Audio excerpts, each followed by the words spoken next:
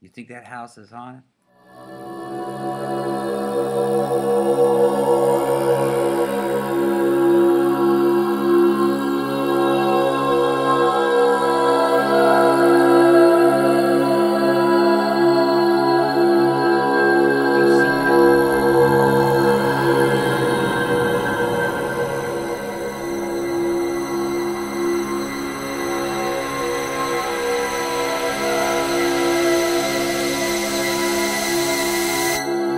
Something that you were told your whole life, even though I was only 13 at the time, you, you're told that something doesn't exist, you know, like ghosts. And they do.